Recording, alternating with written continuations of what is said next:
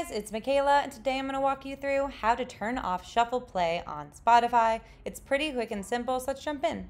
The first thing you need to do is to go on your app or, you know, go on your desktop and locate your Spotify playlist. So I'm just going to go ahead and type in Spotify and log into my app. Once you're here, you go ahead and pick on whatever uh, playlist you're playing through. I'm just going to choose, you know, this playlist. And so far, if you click play, it automatically is going to shuffle the playlist. Now to turn that off, all I need to do is go to my first song and then tap on the song to bring it up to full screen.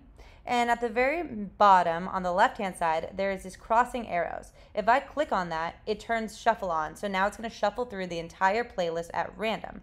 If I tap it off, it's going to play from the first song all the way down without shuffling the songs. If you look to the right of it, it has the arrows that are going in a circle. That means repeat. If I want to turn that on, I can do that or turn that off. It can do that by just clicking it off again. But that is how you turn off shuffle. You can go ahead and just click on the first song and it will play it down the order of the playlist. Or if you want to turn back on shuffle, all you have to do is go ahead and toggle that crossing arrows back on, and now your playlist will be shuffled.